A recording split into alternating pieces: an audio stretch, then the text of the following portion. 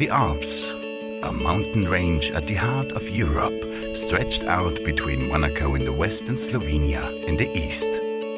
Home for more than 14 million people.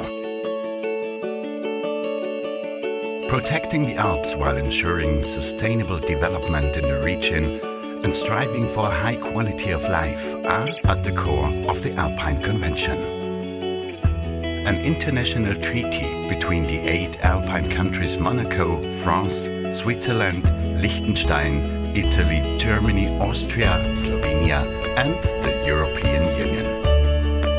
The Alpine region is known for its diversity, be it biologically, economically or culturally.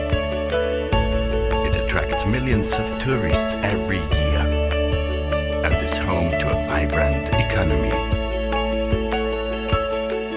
The Alps are a unique region to live in for people, animals and plants. Let's make sure that this continues also in the future. The Alpine Convention is the people and the land. We together are the Alpine Convention.